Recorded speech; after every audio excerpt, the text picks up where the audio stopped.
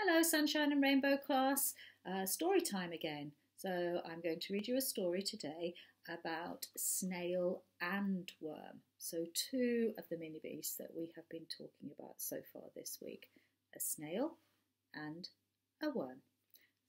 So, let's see what happens in this story. Snail's add Adventure.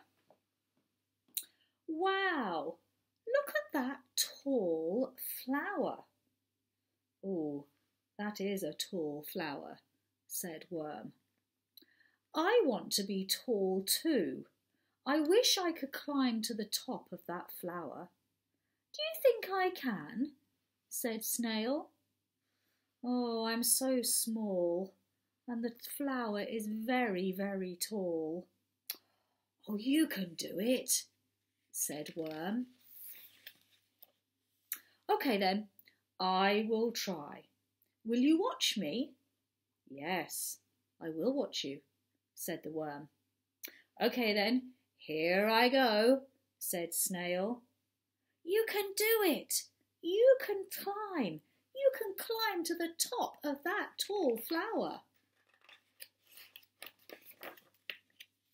I'm climbing. Go, go, go.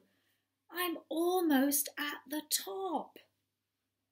You are almost there, said Worm. I did it! You did it, said Worm. Wow, I can see so much from up here, said Snail. Wow, they look like little ants down there. Wow, I can see my house. Where's the snail's house? There it is. It's on his back, isn't it? Because when snails get frightened or when they go to sleep, they curl back inside their shell. I did it. Are you proud of me?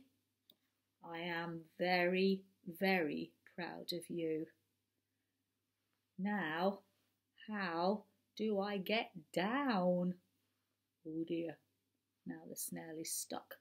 He's got to work out how he can get down from the top of the flower, that tall, tall flower. And Worm says, I'm very, very proud of you just like Mrs. Liu and the teachers are all really, really proud of you because you are all working so hard at home and you're sending me such lovely work. So we are really, really proud of all of you. I think in this book there may be another story about worm and snail. Let's see if there's another story we can read today. Yes, it is. It says, Meet my pet. My pet is lost. Will you help me find my pet? Oh, yes, I'll help you, said Snail. What does your pet look like? Well, he has legs. Okay, said Snail. Is he a spider? Spiders have legs.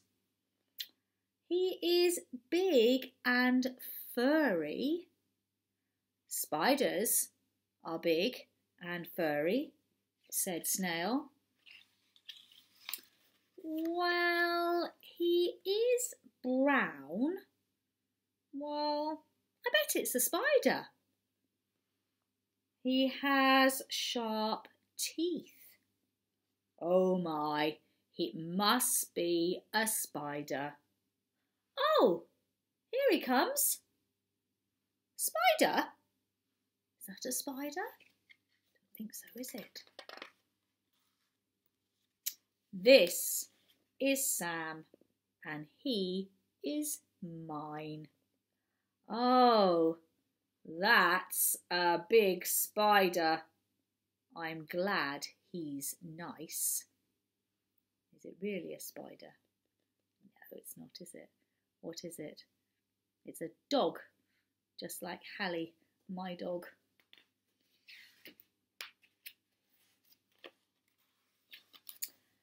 Thank you for helping me find him. Hey, here comes my pet. His name is Rex. Rex is a good dog. Oh, hello, Rex. That's not a dog, is it? What's that? We learnt about those the other week, didn't we? It's a spider, isn't it? And how many legs did the spider have? One, two, three, four, five, six, seven, eight legs on the spider. Are you sure? Yes, I am sure. He's very good. I have to take Rex for a walk now. Follow me. Still thinks he's a dog, doesn't he? You don't take spiders for a walk, do you? I do take my Hallie for a walk, but I wouldn't take a spider for a walk. That would be very, very strange, wouldn't it?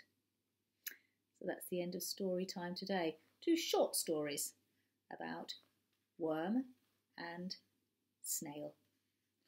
I hope you enjoy the rest of your day and enjoy the rest of our snail activities and our worm activities that you have been busy working on for the last two weeks. Take care and I will speak to you soon. Bye-bye. Bye.